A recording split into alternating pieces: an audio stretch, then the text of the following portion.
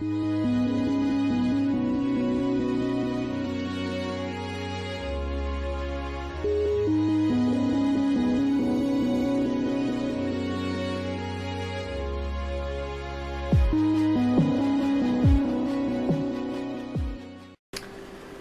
guys and um, welcome to a updated review slash look around of my office slash workroom slash holy cow what the hell's going on? Why do I see five monitors? There should technically be six but the other monitor died um, which I got from my friend uh, Otto. Thank you Otto. But uh, I finally got my editing rig back up and running. There she is, with all her red glowy rammy goodness.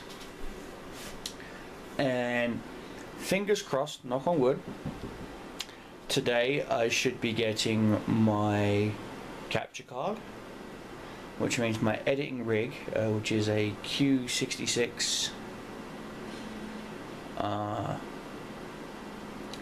it's an Intel Q66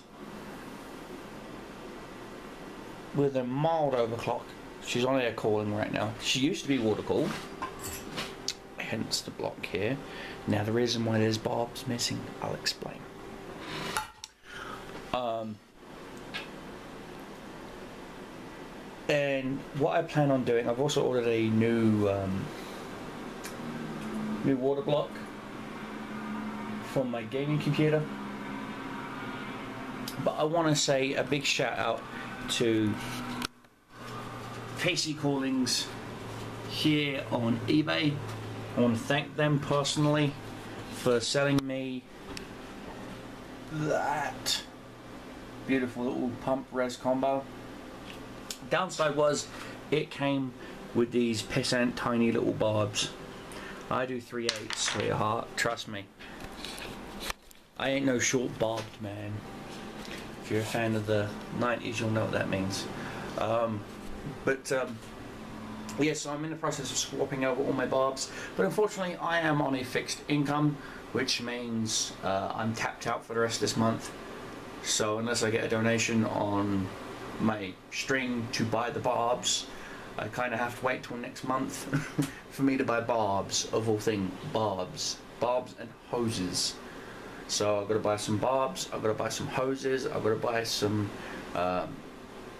thread, uh, uh, threaded uh, long bolts so I can bolt the fans, which I have abundance of, thanks to a friend of mine, Pete. He uh, restores Xbox 360s and things like that. He, he's a console guy, but he has water blocked his uh, Xboxes from the Xbox One, the 360, and once his Xbox One goes out of warranty, he's going to be water cooling it.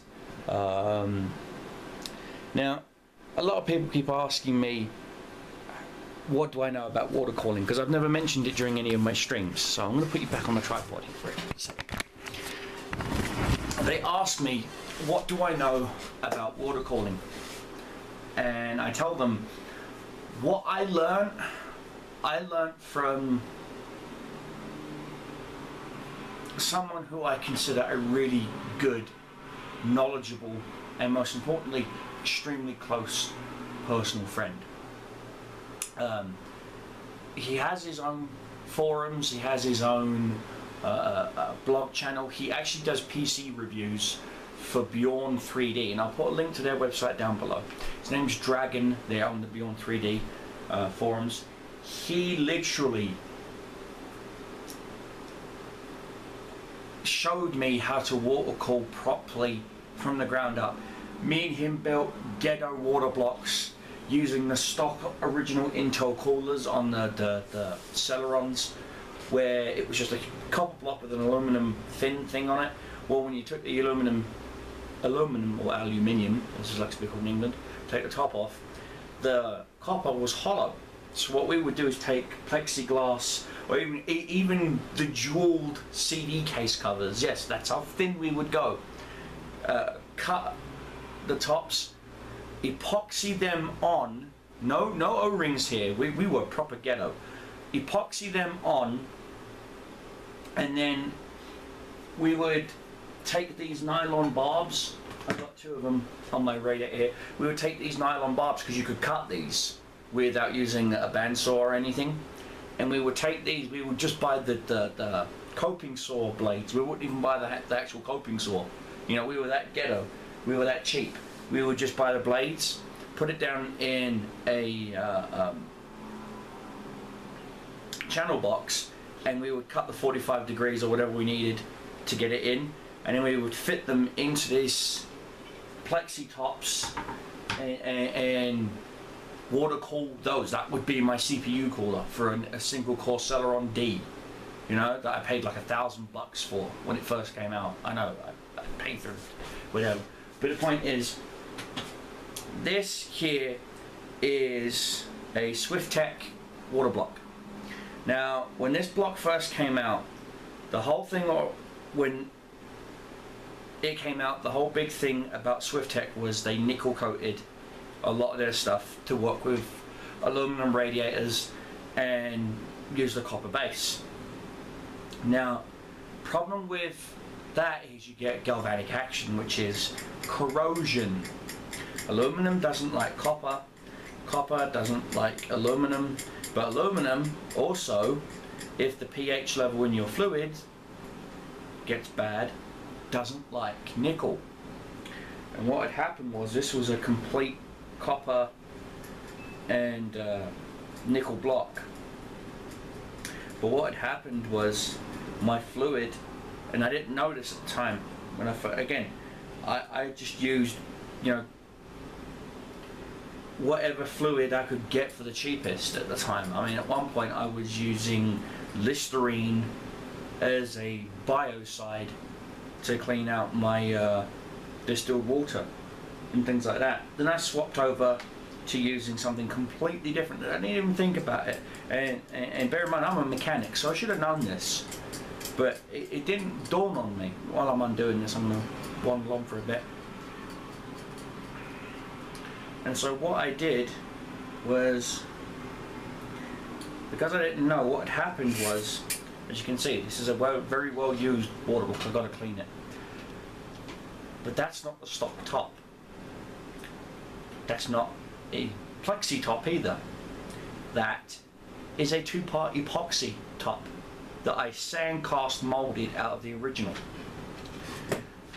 And you can tell because I'll move into better light here real quick.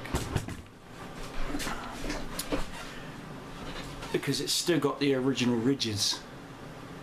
Actually, as you can look carefully, you can still see the original ridges from where the original Swiftech top was pushed into the sand. I sand casted this.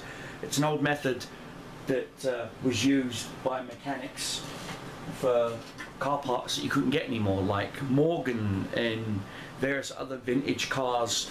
I learned that from my dad, and when I showed my friend Bucky that, he was like, so you do bring something new to the table.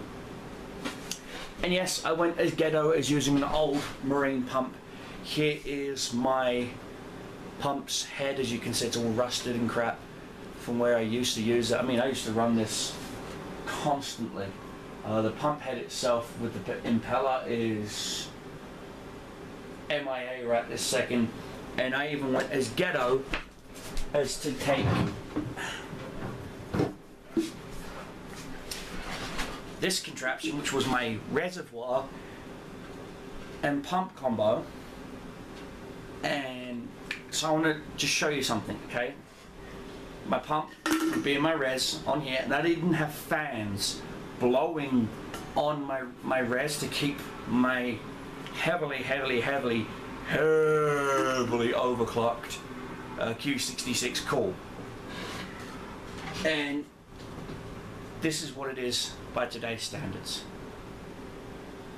This could fit in here.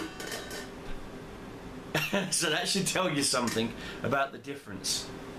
And again, I would like to thank PC Cooling for cutting me a really sweet deal and no, I'm not being paid to promote them. I just generally feel their prices are priced very competitively. They're based in Amarillo, Texas, I believe. But if it's not, no, I don't think it's Amarillo, but they're in Texas. Houston, sorry, Houston. They're in Houston, Texas. And they are absolutely amazing and I have to give them insane props. Now, this is a Chinese knockoff of the uh, MS500 pump, so it doesn't have the very speed, but it still moves the exact same fluid as the D5. Uh, sorry, as the MS uh, um, MS500. Sorry. And you know what? When I ordered this, they sent me a plug for the top. This one's blue to match up my fluid. Now everyone's going, what's this magical fluid that you use that doesn't cause galvanic action? Ta-da! Peak windshield washer fluid with deicer. That's it. It's got the alcohol in it to kill any bacteria, which actually lowers your temps again by another three degrees on top of whatever block radiator combo stuff you're using. And it is as cheap as a dollar for this jug, which is 3.78 litres or one US gallon for a gallon. Now everyone's going, oh no no no, you should use deionized water. Ta-da, got you covered. Got it here. I plan on not only doing a breakdown on what fluid is best, but I also plan, again, I've ordered me a block that's going to cover both my editing rig and my gaming rig that you see here. My gaming rig is air cooled, my editing rig is air cooled. Now you're probably thinking, why am I using a Q66 with 8 gigs of RAM to edit video with instead of my i7? Now, it's a good question. I'm doing it simply because it's the only thing I have. If I had another i7, I would have my i7 there. Okay? But my i7 is a first generation. This was a review motherboard and a review CPU from my friend Dragon. He did me a really sweet deal and I'm only rocking 6 gigs of RAM in this machine. Again, PC cooling. Big props to them.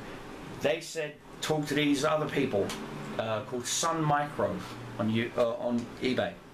So I looked them up and I'm going to be ordering me a 24 gig st stick set which is because uh, uh, uh my machine runs in triple channel that's six sticks okay?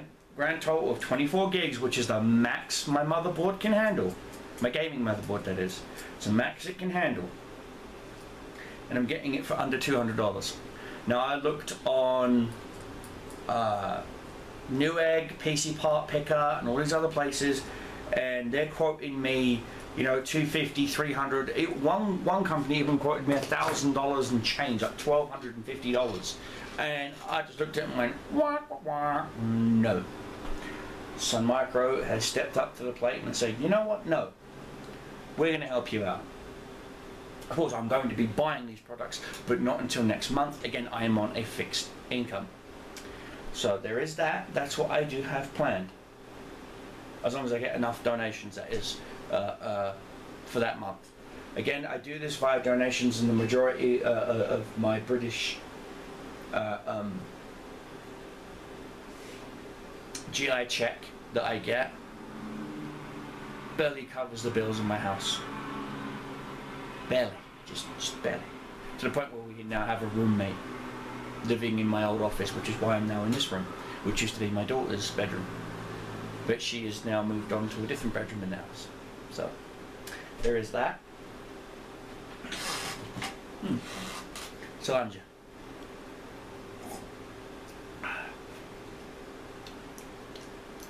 It's Mountain Dew.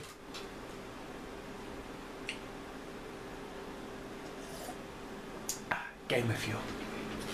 And of course behind me you see War Thunder running on my TV. Not this used to be my gaming monitor but I had to swap them around simply because the capture card I have ordered, which, knock on wood, supposed to be here today, it was supposed to be here Friday, but it was delaying customs because it's coming to me from China. Well, it's supposed to be here today, knock on wood, you know, if not tomorrow. And it uses HDMI inputs only. And I, again, I don't even have uh, a DVI to HDMI adapters or any of that funky crap all I've got is just straightforward what you see. I mean, there's a 512 megabyte graphics card in my editing rig. Again, why? It's running off of my graphics card to edit. It's running off of my CPU and my RAM, which are both heavily overclocked. Well, RAM heavily overclocked, and the processor mildly overclocked. Um, in the editing rig, I'm using DDR2. I know it's a 775 setup. It's like six, no, almost four generations old now, but it's still viable, and it's rocking 120 gigabyte uh, laptop hard drive that I pulled out of a laptop that I bought at DI for like 20 bucks. They said it, they didn't know if it worked or not, and I'm like, eh, I can probably sell it on eBay for parts, which is what I do. And so I parted her out, sold the monitor and the keyboard and everything else to, to uh, the, mon- the, the display went to a guy in Ohio, the keyboard went to a guy in California, and the motherboard I just I sent off to a, sal- a, a salvaging place where they scrap scrap it for the gold and stuff. But um, the hard drive actually bloody worked. And it was 120, uh, 120 something gigs. So I threw it in my editing rig, and that's what my OS is on and stuff like that. I do have planned to get a one terabyte drive for it. Uh, actually, a couple, because um, one drive is going to be dedicated to recording my footage, so I can do montages, stuff like that. And another one is dedicated to something completely different. The uh, GoPro knockoff, again, thank you China. The GoPro knockoff is hooked up to the editing to the gaming rig, while my uh, 720 webcam is hooked up to my editing rig. So yeah, gaming, editing, for two separate reasons. The editing rig, when I get it set up to record live, will be recording the uh, video input and everything else that the editing rig sees but the editing rig cannot access my webcam, so I had to hook my webcam up to my editing rig, so I hope that makes sense. Granted, it's not going to be super, super, super high def, but I, I am waiting on the prices to come down just a wee bit more on the Logitech C9, C, C920 uh, webcam. Again, that was uh, a webcam that uh, some other review, some other streamers and whatnot told me is a really good webcam. So I'm looking at getting that. I'm also looking at getting a Yeti Blue microphone uh, with the boom arm and the shock shock absorber stuff like that. I'm still rocking the E uh, uh, the Cobra E Blue uh, uh, Pro E101 headset. It's an amazing headset. Um, I've had no issues with it, you know, knock on wood. And that's my dog letting me know I need to let him go outside. But uh, yeah, everyone's like, well, what's been going on? Because I haven't been live streaming. This is what's been going on. I had to scratch build this table from scratch. Um, granted, it's a bit bowed. That's because the wood I used, I left that in my garage. Uh, and, well, I left it out there four years ago, and the cold and whatnot has eventually warped the wood a little bit. But I'm fingering, hoping, hoping, fingers crossed, again, knock on wood, keep doing that, that the heat will start to straighten the wood again uh, it is cross-braced with carriage bolts and various other things. So It's a, it's a sturdy table. It is a sturdy table. And I did this so that you guys can see some of the stuff I've got, you know, like my gaming stuff, like my headsets and, and uh, keyboard boxes and stuff like that, so you guys know that I really am a gamer. I'm not doing this, I'm not a poser or anything, because um, I'm not. I am a proper gamer. Um, everyone keeps asking me to do a tour of my office, so this is basically what this is, is a little tour of my office. So I'm going to take you off the tripod again. I know, I'm sorry. I'm going to take you off the tripod again. And so I'm going to do a small little quick go around. So I'm going to flip that around. Up there we've got the original vintage Kenner Darth Vader. Here, I'll uh, zoom in for you. Original vintage uh, Kenner circa 70s Darth Vader head with another Darth Vader figure and one of the Imperial Gunners. Over there we've got uh, battle droids and stuff from the Clone Wars stuff. I'm not really into that era of toys. Of course there's one of my airsoft guns. There's my other airsoft gun. Um, up there, more various Clone Wars stuff. Uh, action figures that my wife bought me for Christmas.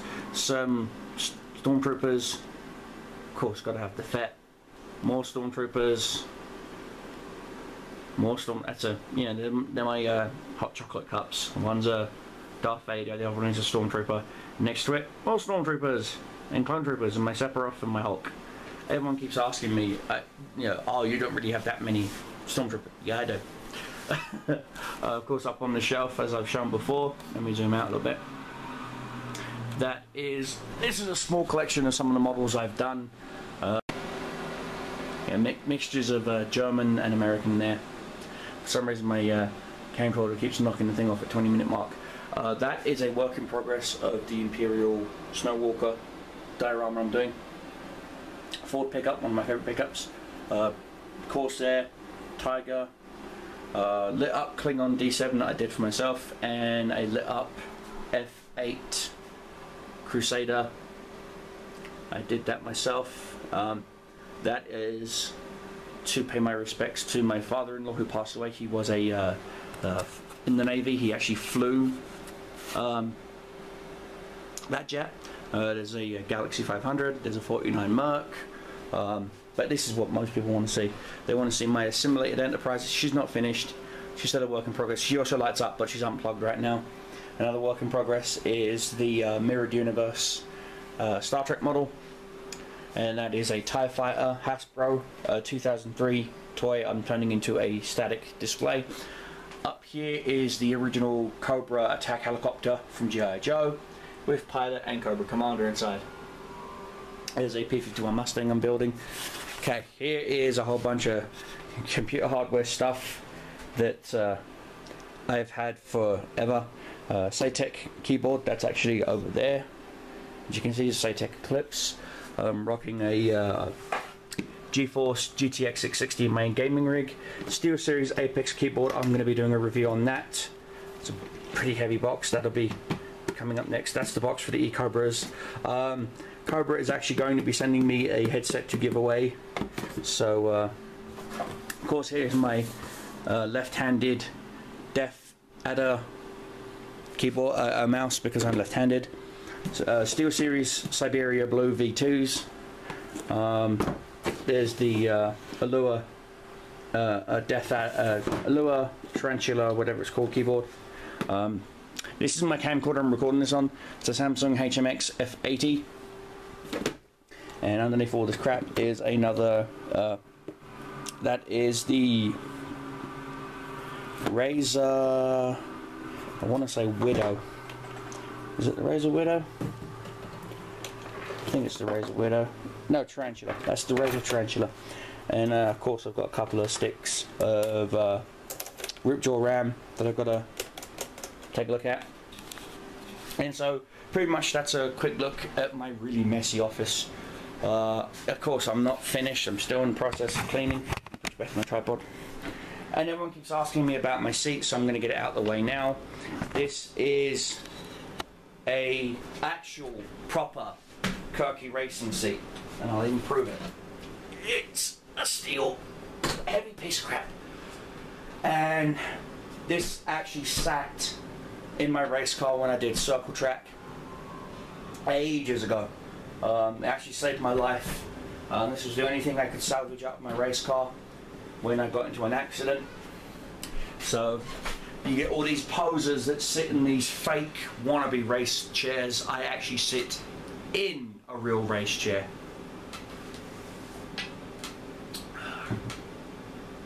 And we know who some of those posers are, don't we? Nerdgasm. Just kidding, please. I love you.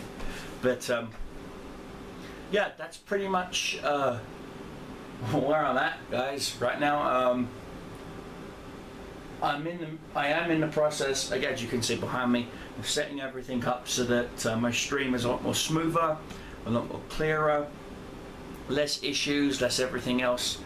And again, I do apologize for not streaming, but I am trying to get some more, as you, I mean, I'm doing it right now as we speak, I'm actually recording um, to get some footage up, and everyone's like, what's that? That's, uh, that's uh, one of my vices. I'm watching uh, TNA Impact Wrestling.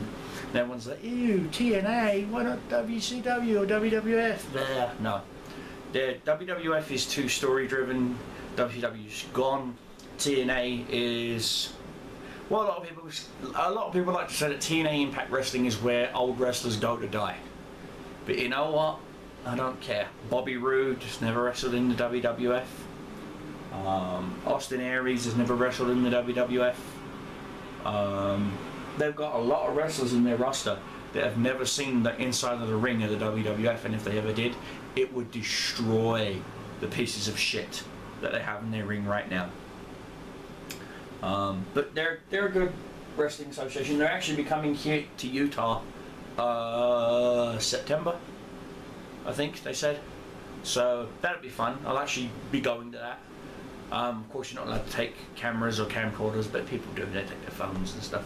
So, oh, and everyone keeps asking me, what sort of phones do I have? What sort of phone do I have? I have this. I have the Samsung Galaxy S. This is my phone. She is technically a smartphone, um, but she's not technically smarter than the average Beth, you know what I mean? But anyway, guys, that was the quick and dirty, you know, and I'm not, I'm, I'm even going to leave this unedited. I'm just going to not even bother putting an intro or anything onto it. I'm just going to put these two clips together and done. So, um, with that in mind, I'm going to end this for the day. Stay safe, have fun. Hope you enjoyed looking around my crap hole. Keep your shows flying. Keep your enemies dying. Your Cobra Commander is out. Bye! Cornering around. Of course, biggest weakness is the upper uh, uh, the upper uh, uh, chassis, with it only being 16 millimeters. So you got to be careful of artillery. Even light artillery will will wreck you. You have to be careful of HE as well, because HE will wreck you. Um, this isn't spaced armor, unfortunately, so don't give your opponents your sides if you if you can't you know if you can't help it. Same as the turret. Turret's not really that strong, but it does have some sort of angling to it, 25 degree angling. So you know, unless you're going down the hill with